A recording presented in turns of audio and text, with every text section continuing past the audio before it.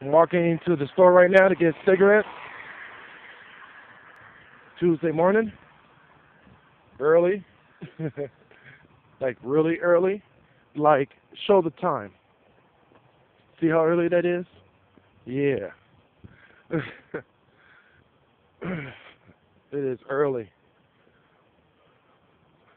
Um, just read a lot of articles online.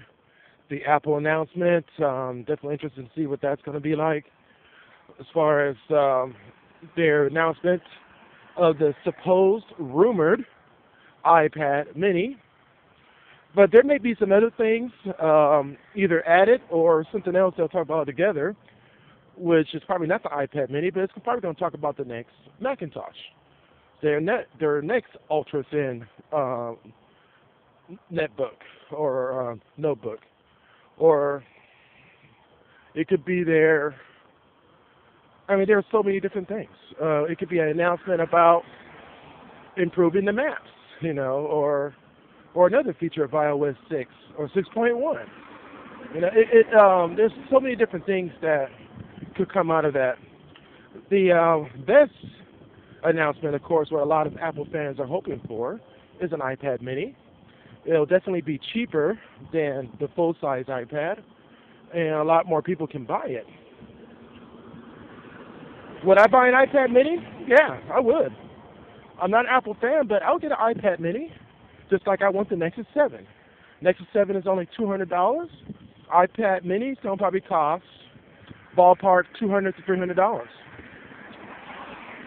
which uh, is very affordable, and uh, it will have it will give you all the features of um, all the features of iOS 6, and I think it'll be a neat little device. Do I want the Microsoft Surface more? Hell the fuck yeah.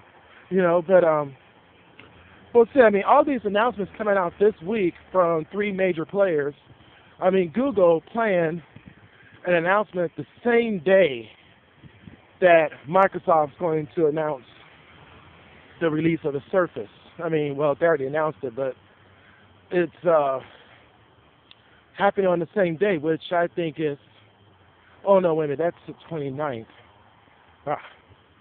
On the 29th, Google's going to make a big announcement on the same day that Microsoft is going to make release or reveal some of the features of Windows Phone 8. A lot of people are wondering if there's anything else to really tell from the release or from the announcement that happened back in June. If there's really anything else that could come forward as, as far as Windows Phone 8 is concerned. And it could be a lot of uh, uh, newspaper articles and uh, online articles are saying that there possibly cannot be anything new that could be added to Windows Phone 8. So I think feature-wise, specification-wise, I think it's going to be the same.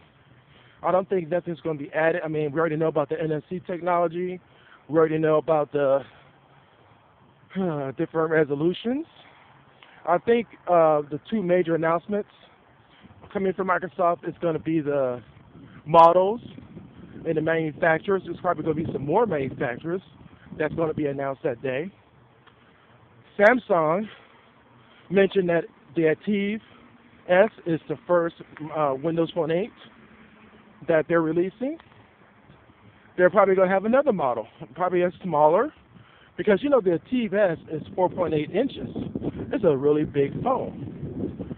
So who's to say that uh, Samsung is probably going to come out with a smaller phone, more compact, maybe a four-inch screen or smaller, probably the same size as the Focus. Okay, in fact, that's probably what they'll, what they'll do. Samsung Focus 8. I mean, who knows, right? You know, your guess is good as mine. Now,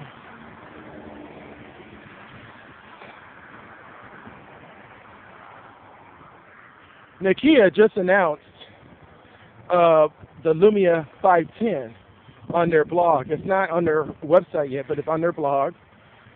And that phone is supposed to go for $200 before uh, mobile uh, mobile operator subsidies.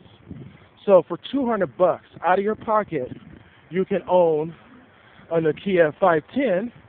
The only thing is, according to the website, it's only going to be released in Europe, India, and a lot of the poorer countries that may not be able to purchase a Lumia 920.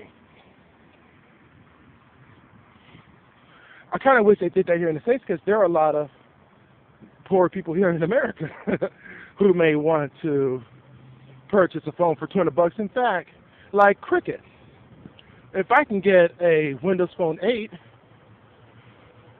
and I believe the 510 is a Windows Phone 8, if I can get that for 200 bucks, or for a lot of people, you know, like I want a Windows Phone, but they're like 500, 600 bucks if I bought it through Cricket. Well, they can purchase a $200 one and get a similar experience. All right, I'm at the store and I'm going to check out for a bit.